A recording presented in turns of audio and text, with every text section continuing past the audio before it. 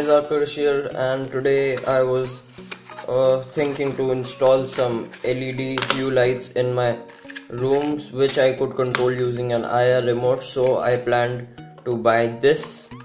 I this kit from uh, eBay. So I've bought this for around 200 rupees and I'll link down this kit in the description so that you can take a look at it so what does it come with? It's a controller box with a RGB connector and an IR LED this is a 4 pin connector another 4 pin connector and RGB module. Uh, for larger application I'll use an RGB 5 meter strip and at the end connect these four pins like wires like this to this and connect it to this this is an IR remote for controlling the LEDs so we need a power driver with this type of pin.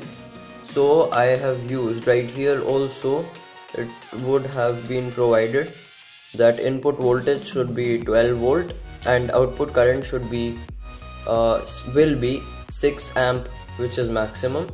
So I had uh, bought this adapter which is a very cheapy one. I got it for around two dollars. That's 100 rupees. Uh, that's uh, 12 volt 2 amp.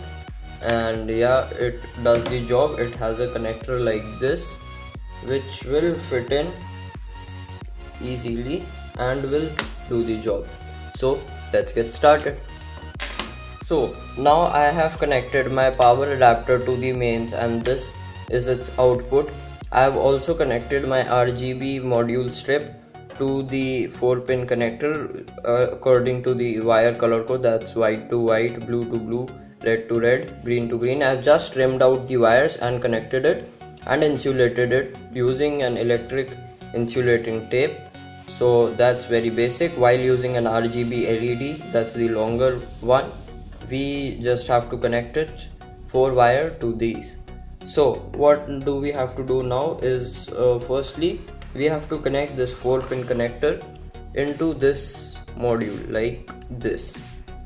After that we would be finding a small arrow mark right here like this and a small arrow mark here like this. So we have to connect it, them together. So yeah. So that's connected that's a tight fit. And after that we have to connect this uh, pin right here into the input. And yes boom that goes on.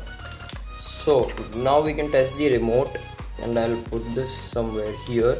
And we have to pop out this LED that's the receiver IR LED always out of the circuit. We can hide this box and everything but this needs to be outside so that it can be in the range of the IR LED so firstly off on.